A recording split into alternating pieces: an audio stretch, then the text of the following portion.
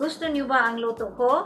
Gusto ko rin ang luto niyo. Halina kayo, samahan ninyo ako sa aking pagluluto ngayong araw na ito.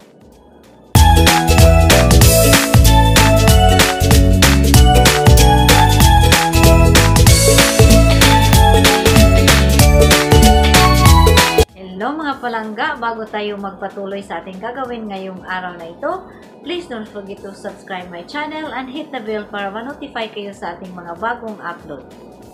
Mga palangga, tayo ngayon ay gagawa ng overnight oats or oatmeal. At ngayon, ipapakita ko sa inyo ang ating ang ating mga sangkap. Of course, ang ating sangkap ay ang ating oatmeal, strawberry, yogurt, almond milk, at meron din tayong cup para lalagyan sa ating um, recipe. Ang una natin gagawin ay kukuha tayo ng oatmeal. Ayan.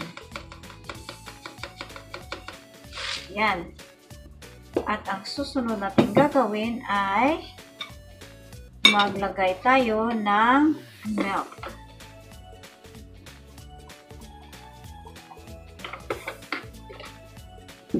Ang susunod natin gagawin ay oh, lagyan pa natin ng kunti ng oatmeal. Ayan. At lagyan muli, muli natin ng more milk. Ayan dahil tutubo yun siya. At ang susunod natin gagawin ay magkuha tayo ng yogurt, light fat yogurt. At ilagay natin dito. Yan.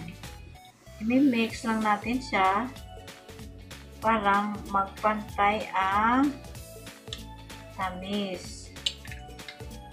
Ayan mix lang, siguraduhin lang ninyo na ma-mix ang lahat. At ang susunod natin gagawin ay ilagay na natin ang ating strawberry sa itaas. Ayan. Yun na siya. Ayan. Ayan na siya mga palangga. Right, easy and simple lang siya gagawin. At, you know, ready to eat in the morning. Ilagay lang natin sa uh, refrigerator. Then, kakain na natin sa umaga. At pag gusto ninyong medyo mainit-init ang inyong oatmeal, pwede rin i-heat ninyo ng kunti doon sa microwave parang hindi sobrang lamig kasi like ako, gusto ko na medyo mainit na init na kunti dahil ayaw ko ng malamig. Ayan na mga palangga, natapos na tayo sa paggawa ng ating overnight oats. At ngayon, ready na siya ito ilagay sa ating refrigerator.